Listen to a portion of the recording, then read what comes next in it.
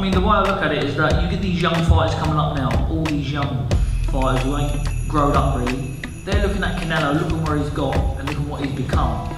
You know, are they going to think that, oh, we can do that, we get away with six months back, that's going to help us get there, we'll do that. That's just, personally myself, I reckon they should make it all legal, let everybody take it.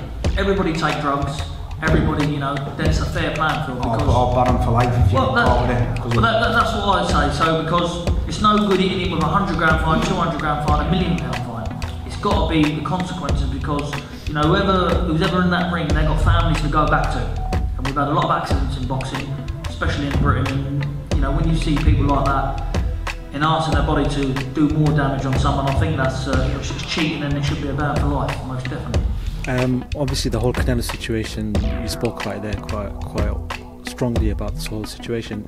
Um, Tony Bellew did an interview yesterday, which I watched, and he's he was predicting that there's a, maybe a lot of drugs going about where he said that out of the 48 champions, world champions, he predicts that maybe 30 of them were taking drugs.